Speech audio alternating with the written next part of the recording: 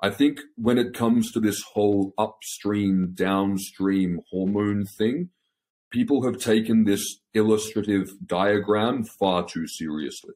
Um, there is a diagram which shows that, you know, pregnenolone starts with cholesterol, pregnenolone, and then it goes across to progesterone and the corticoids, and then down to the sex hormones. It's a diagram for explanation. It's not actually like a river that flows liquid down these these streams, so to speak.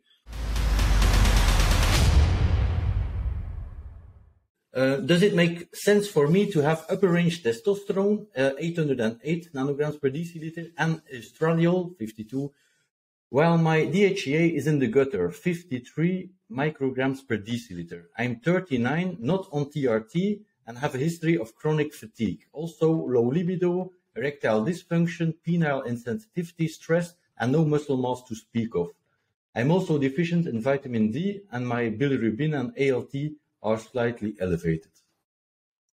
Okay, so um, again, can't give personalized medical advice, but I can give you some things to look at. Anyone who's got elevation in bilirubin uh, needs to get a liver ultrasound unless they've previously had a liver ultrasound that has shown it to be benign. So if you have elevated uh, bilirubin and you don't have fatty liver disease, you have something called Gilbert syndrome. Shout out to Gil in the TRT group. Um, so that means that you, it looks like you have fatty liver, but you don't. But in the event that you also have elevated liver enzymes as well, I would bet a conservative amount of money that there is some fatty liver there. So I would be getting a liver ultrasound firstly to check for fatty liver disease. If you have fatty liver disease, I recommend watching my liver masterclass on YouTube, which is a free video, which I think in the description of that, there's also a download, uh, which has a fatty liver protocol in there. Choline and inositol is a good treatment for that together. Um, so I'd be looking at that first. Um, the vitamin D deficiency, go outside and get some sunlight. And if you can't do that, um, look at taking supplemental vitamin D. I've got a vitamin D lecture on this channel. Jeffrey Ruderbush just did a great video on vitamin D on this channel. Both of them echo a very similar thing around dosing. Um, so get your levels up for your vitamin D. That is going to help you in, in more ways than one. I would argue that those two are likely not directly related. They could be indirectly related depending on how far back this goes. But again, I don't know. Um, but does it make sense for you to have low DHEA, like bottomed out, and pretty damn good testosterone levels? Absolutely.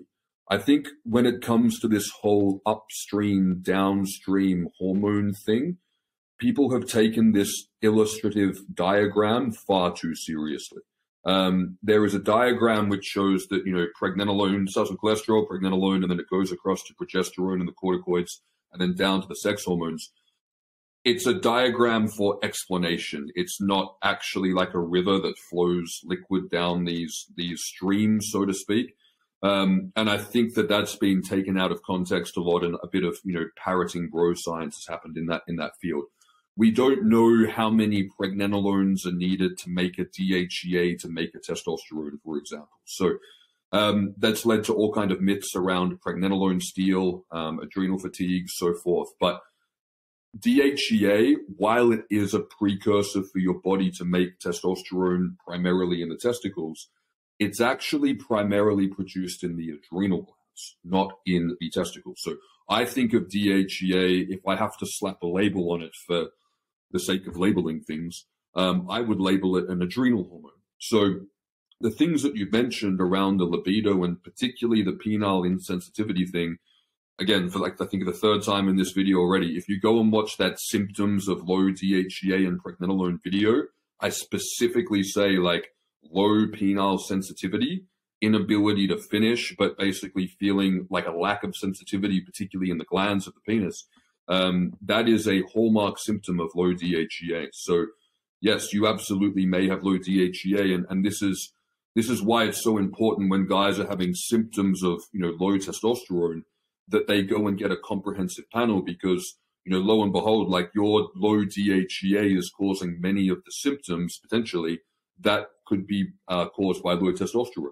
So DHEA may not be as marketable or desirable um, as testosterone from a marketing standpoint, but it sounds like it's what your body needs. It doesn't cause suppression. It doesn't have a negative feedback loop.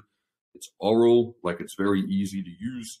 Um, But the thing that I would really strongly recommend for, for you listening is although if you're in the States, you can just buy DHEA at like Walmart or you can buy it on Amazon or whatever, still treat it like testosterone or thyroid. So see a practitioner who works with it, introduce a dose, get your bloods tested, titrate up based on your blood work and symptoms.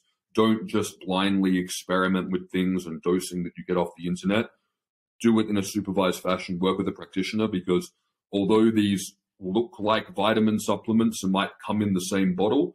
Um, they are very powerful hormones with very strong systemic effects. But get your vitamin D levels up, ideally from the sun. If that's not possible, take a supplement.